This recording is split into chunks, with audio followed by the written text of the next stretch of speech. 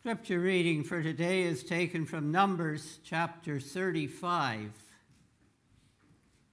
Numbers chapter 35, and beginning to read at the ninth verse. Then the Lord spoke, or said to Moses, Speak to the Israelites and say to them, When you cross the Jordan into Canaan, select some towns to be your cities of refuge, to which a person who has killed someone accidentally may flee. They will be places of refuge from the avenger, so that a person accused of murder may not die before he stands trial before the assembly. These six towns you will give, give, you give. Six, these six towns you give will be your cities of refuge. Give three on this side of the Jordan and three on Canaan on the cities of refuge. These six towns will be a place of refuge for Israelites, aliens, and any other people living among them so that anyone who has killed another accidentally can flee there. And then dropping down to verse 25. The assembly must protect the one accused of murder from the avenger of blood and send him back to the city of refuge to which he fled. He must stay there until the death of the high priest who was anointed with holy oil. But if the accused ever goes outside the limits of the city of refuge to which he has fled, the avenger of blood finds him outside the city, the avenger of blood may kill the accused without being guilty of murder. The accused must stay in the city of refuge until the death of the high priest. Only after the death of the high priest may he return to his own property reading to the end of the 28th verse of that portion of God's Word. And some of that might sound a little strange, but uh,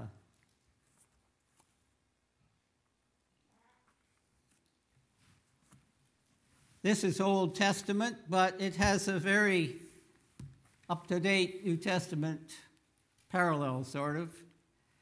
Uh, getting a little background of this story of these cities of refuge, uh, the idea back in those days was that if someone killed a person accidentally, it's not intentional, it's sort of like today, you know, we have the difference between murder and uh, man, uh, manslaughter, yes. Quite a difference there. And uh, this is not for the murderer that really intended to kill some. But uh, this passage, this uh, arrangement they had there, was uh, really for those who uh, had maybe accidentally killed somebody. Certainly, nowadays in cars that can happen very easily, but there are ways that it could happen back there. And so, if that happened, they could flee to one of these cities of refuge and be safe there. The Avenger Blood, now that might seem kind of a strange idea, but uh, the policy then was retribution, uh, that if, uh, uh, if your brother was killed, then it would be your responsibility to go and kill the person that killed him, you know, to get back. He was the avenger, to avenge that, that blood of his brother. And uh, uh, so the killer, the one who killed them, could be in danger. And if it was an accident, uh, he could flee to this uh, city of, of refuge, and the avenger could not uh, get to him there. Just a little bit of background there. Well, we're living in a day and age when we have a great avenger that's after everybody. That's Satan, isn't it? Satan is out to kill and destroy. But God is out to rescue. he has his place of rescue. Not a city with walls around, but uh, in the presence of God. So when a man sinned, uh, he placed himself, when mankind sinned, he placed himself under Satan. Satan has uh, a claim on all those who have not accepted Jesus Christ. How important it is to come to know the gospel of Jesus Christ, not only to know it, but accept it and to follow in it. So, looking at these cities of uh, refuge, uh, refuge for the guilty. In verse 11, we go back a little bit there, it says, uh, Yea, shall appoint you cities to be cities of refuge for you, that the slayer may flee there, which killeth a person unawares. if his plea was accepted at the city, then uh, no one could, could harm him. He was in a place of safety. Isn't it good to be in a place of safety in any situation? But most of all, spiritually, to know the Lord, to be in that place of safety today. In this city of uh, refuge, the person was. Uh, safe from the avenger that I spoke to about a minute ago there. It says in verse 12, They shall be unto you cities for refuge from the avenger, that the manslayer die not until he stand before the congregation in judgment. Had to have fair judgment. And so he was protected uh, until that time and for that particular purpose. The great thing about this was it was for all people. You notice that down in verse 15. These six cities shall be refuge, both for the children of Israel and for the stranger and for the sojourner among them, that every one that killeth any person unawares may flee there. Not just for the people of Israel, but anybody in the, uh, in the society. And it says everyone I like the fact that the Bible speaks so often of everyone, doesn't it? Doesn't just deal with certain privileged people. The gospel is for everyone who will receive it. The blessings of God are available for all. The only reason people don't receive the blessing of God is because they don't receive it. It's available. Isn't wonderful to sing, know that a thing is available uh, to whosoever. Anybody can. I don't know if they do it down here, but the little town I pastored in out west, uh, the banks uh, would always, quite often have a promotion, and some other businesses, but often the banks. And so they'd have a day when there was coffee and donuts there for anybody who wanted to drop in. You didn't have to be a customer of the bank, although normally you would be, you know, not too many people would, but, but it was there. They'd have a sign out, you know, about this special day and there was coffee and donuts available. And anybody could drop in. And some of us did. but uh, some would just walk on by, they, they wouldn't. Well, that was okay. Maybe they didn't want any, whatever. Uh, but it was available to whosoever would, you know. The, the banks were generous, and I feel the banks get enough out of you, anything they're giving back, you know. But uh, I thought that was kind of a picture of the grace of God, isn't? He says, Here's my grace. It's available for everyone who will come and receive it. And some receive it, but others don't. Others can pass by on their busy way, and how often people say, Well, I, am so busy, I, I don't have time for these things. Did you read your Bible and pray this morning? Well, I was so busy, I didn't have time. Uh, can you get out to prayer meeting? Can you get out to Bible study? Well, I'm so busy, I don't have time. uh, well, the, the opportunity is available there. And those who come, I believe, are blessed by it. And those who don't come miss uh, that privilege, don't we? And that's why we want to reach out to people around about the church is around about the community, not just to fill the, the seats here. Sure, it'd be nice to see every seat full, and we're looking forward to that. But uh, that's not the purpose. Purpose is we have found something so wonderful in the gospel of Jesus Christ that means so much to us, that's freed us from sin and given us victory and joy as we walk through life, that we want to share that with others. We realize what people are missing if they are not uh, enjoying the gospel. They may not realize it, but, but since we've discovered it, we realize it, and we want them to share that. And it's for everyone. That great news. Just as this city of refuge was there for all, any uh, one who uh, was guilty of uh, killing someone uh, that could flee there. Now, some would not. And they were they would take the chance of the avenger of blood catching them and, and killing them. But it was there for whosoever would uh, flee to it. And the glorious message of the gospel is free for all who will receive it, all who will flee to Jesus Christ and receive him as their Savior. We'll say more about that as we go along a little later. But let's, uh, for a moment, look at the duration of the stay. How long could he stay in this uh, uh, city of refuge? Well, it was an unknown date, really. It's not like now, you know, somebody's uh, sentenced to prison for so many days or so many years or uh, whatever it is, and, and they can count off the time until they will be released uh, from prison. But uh, this was unknown. It, but there was a pattern. It says in the 25th verse there, and uh, the latter part of the verse at least, that the avenger of blood, the congregation shall restore him to the city of his refuge while he was fled.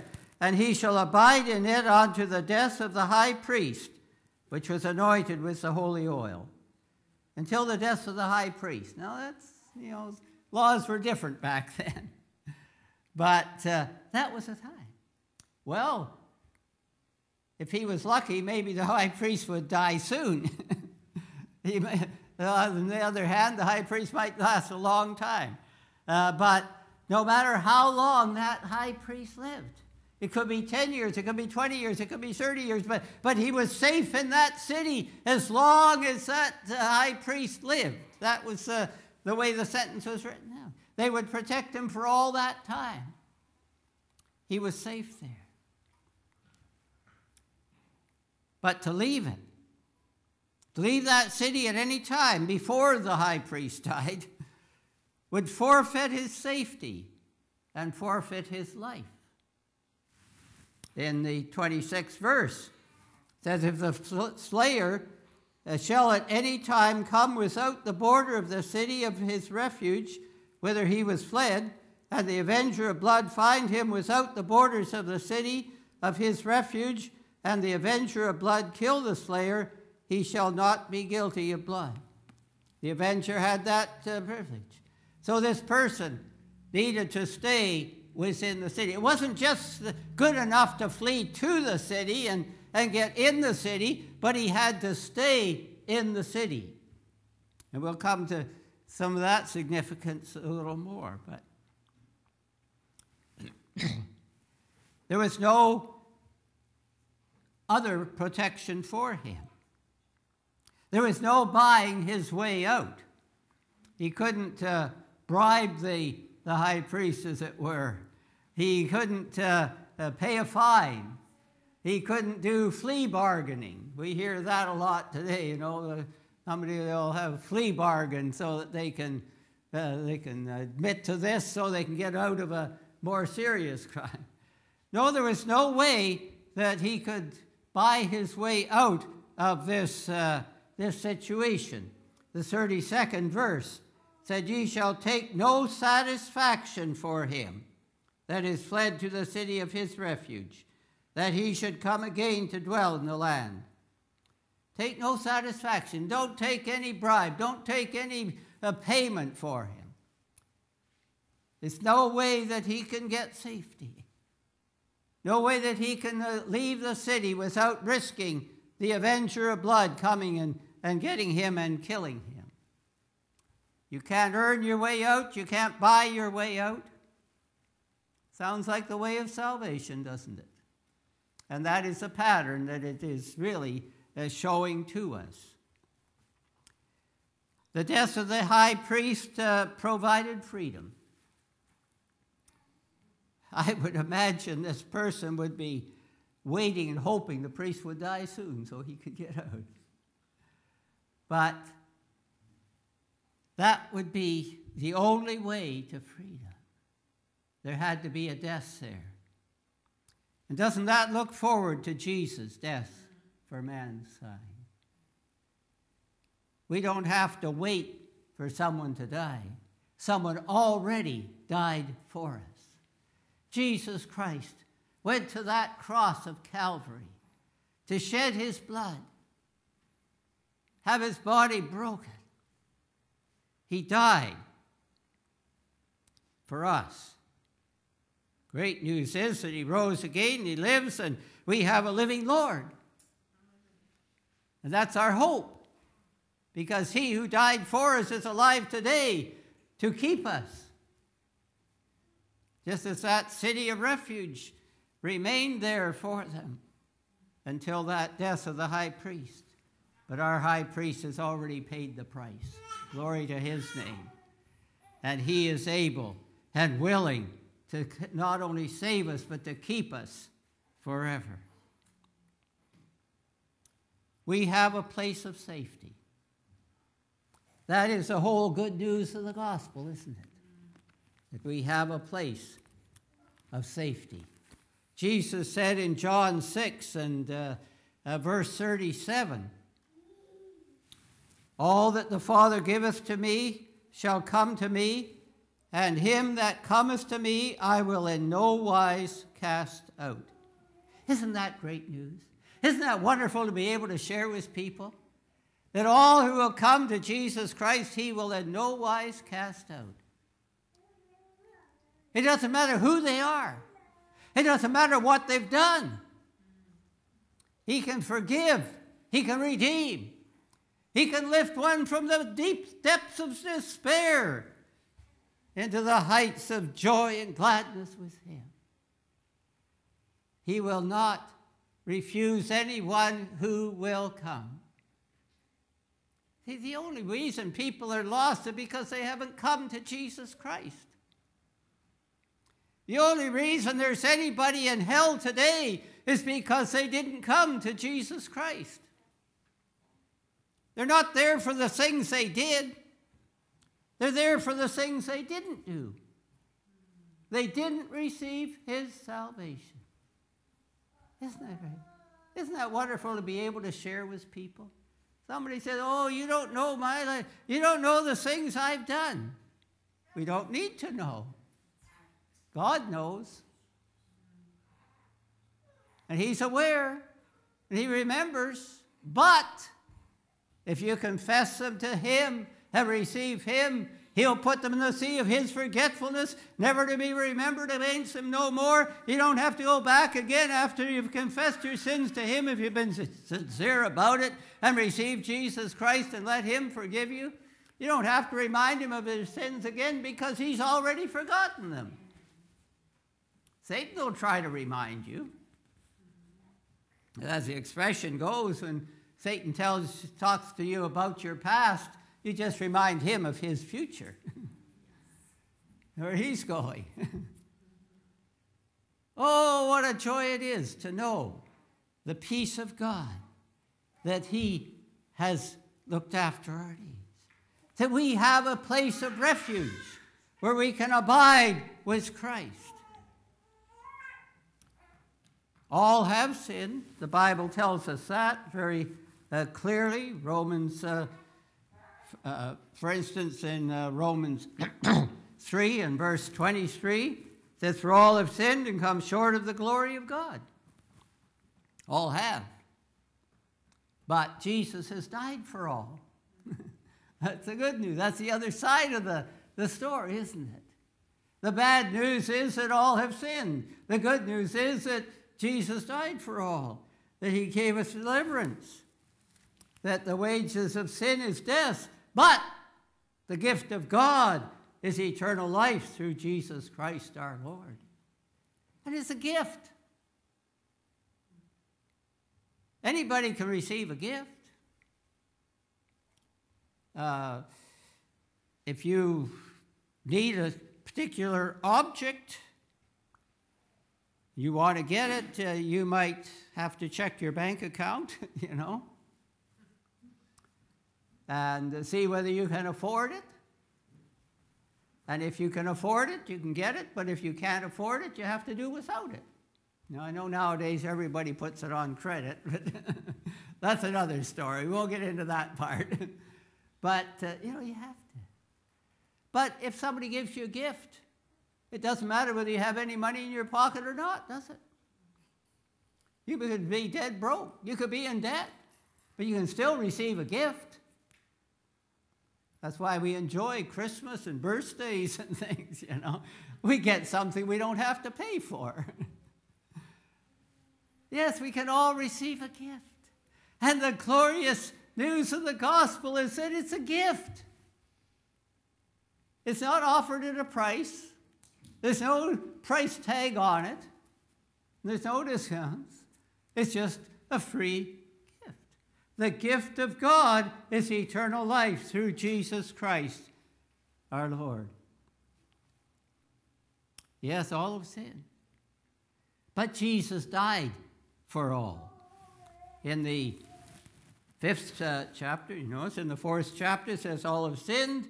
Fifth chapter of, uh, of uh, Romans, and the uh, eighth verse says, God commendeth his love toward us, that well, while we were yet sinners, Christ died for us.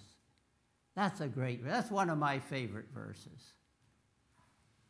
While we were yet sinners, Christ died for us. He didn't say, straighten out your life and then I'll consider you.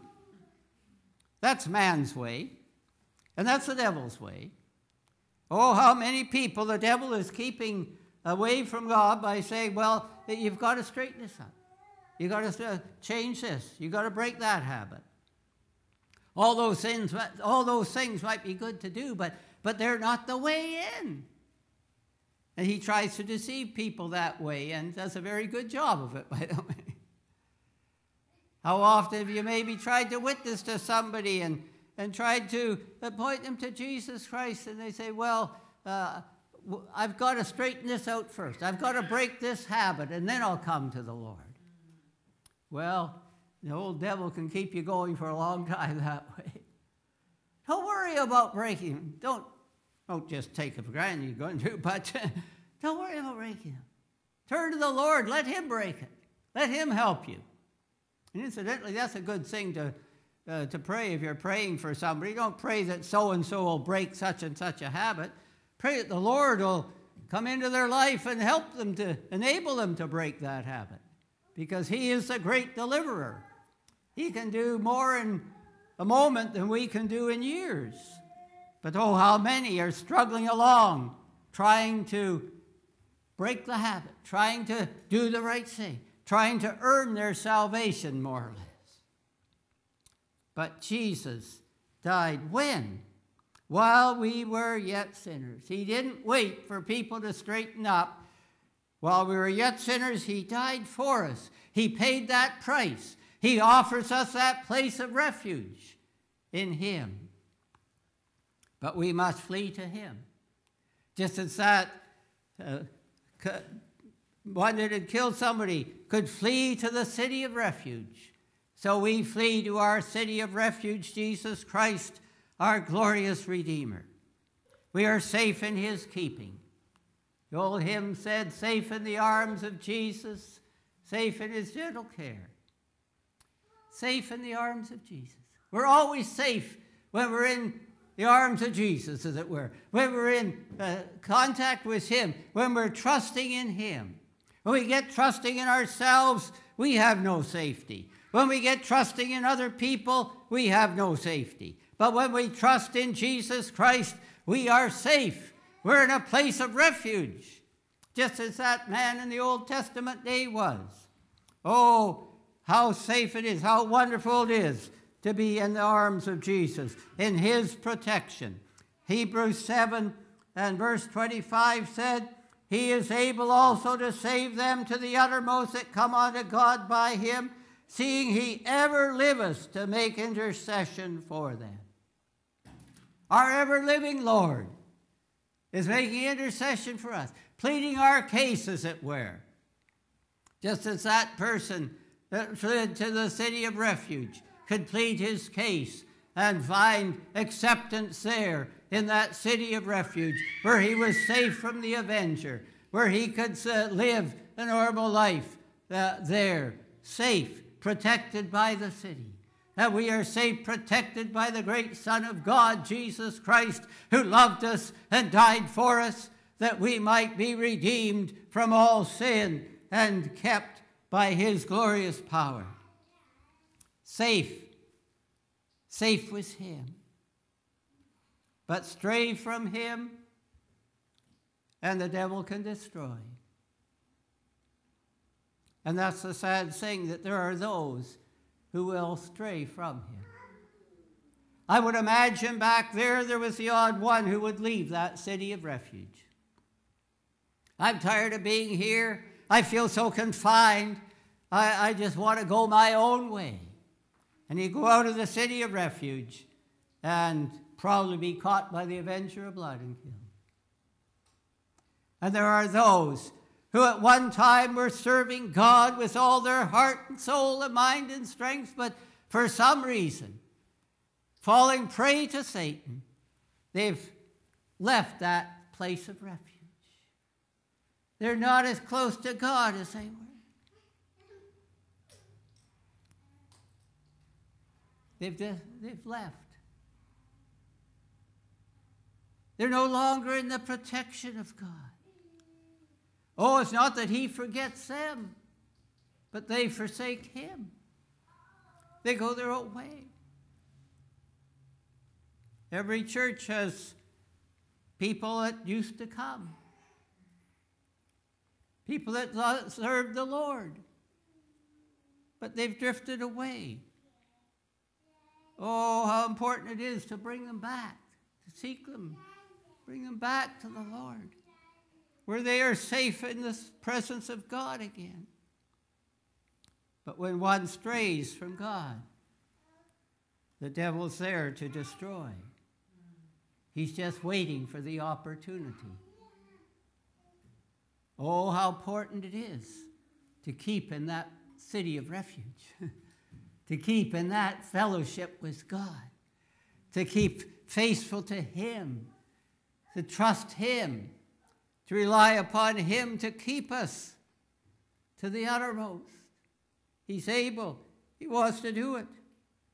Able all to save them to the uttermost that come unto God by Him. He lives. He's there, our, He's our refuge. How long? Here, how long do we need to keep in the fellowship of Jesus Christ close to Him.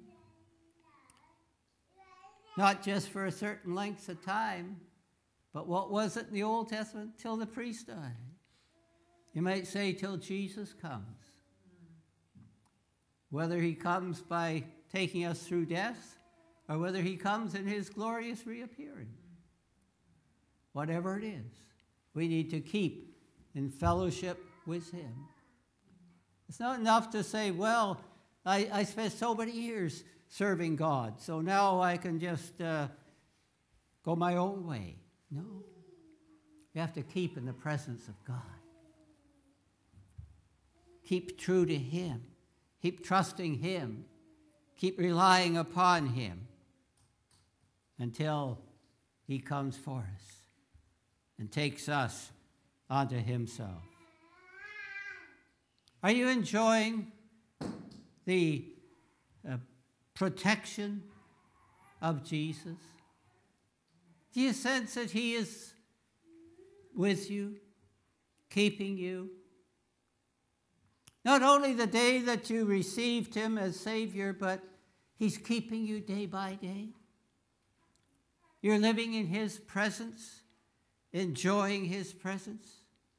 Oh, are you enjoying that protection of Jesus? Or have you moved outside the city of refuge. Are you not as close to Jesus as you once were?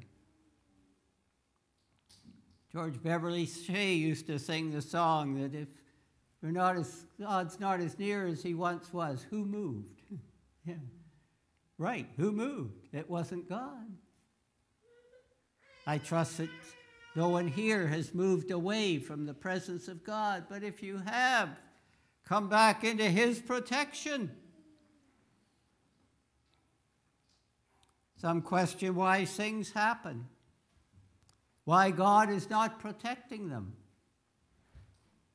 That's really not the right question.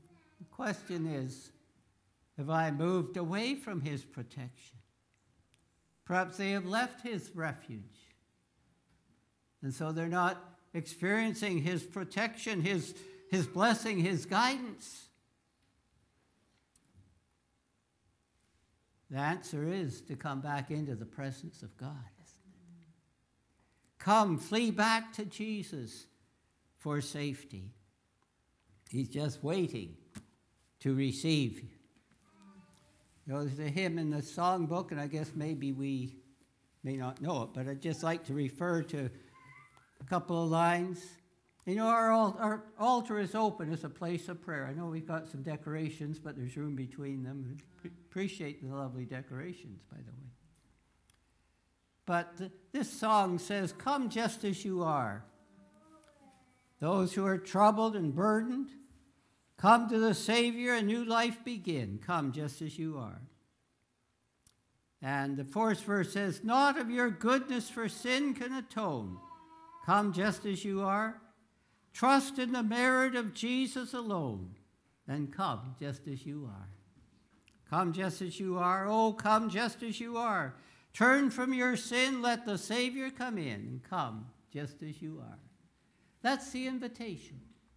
That was the invitation of the guilty person to come to the city of refuge. And that's the invitation to all today to come to Jesus. Oh, if you're not as close to Jesus as you ought to be, as you'd like to be, as you once were, why not come and this altar's a good place to come and just tell Jesus, Lord, I, I want to come closer to you.